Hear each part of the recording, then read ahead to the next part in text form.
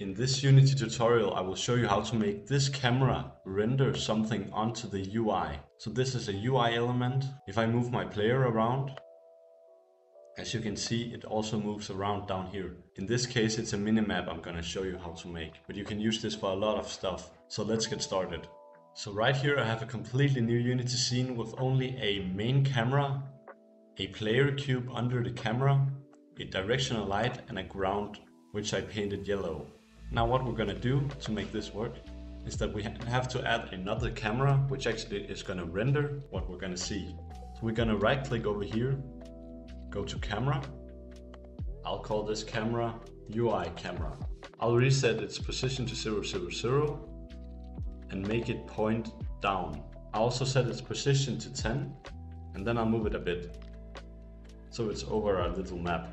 Now we're going to create the image which is going to be on the canvas. So we're going to do UI, raw image. Let's now choose 2D view and double click on the canvas which was created with the raw image. This is the image we're going to display the camera view on. So let's put this over here. As you can see it needs a texture. So we're going to create that. Go into the assets, to create, render texture.